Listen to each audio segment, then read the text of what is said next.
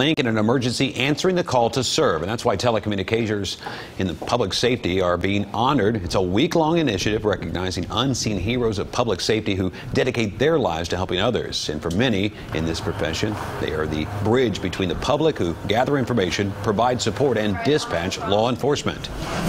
This is a great opportunity for us to say, hey, we know it's a stressful job, but we really appreciate what you guys do. And just a, a chance for us to, to show that to them besides just words of appreciation.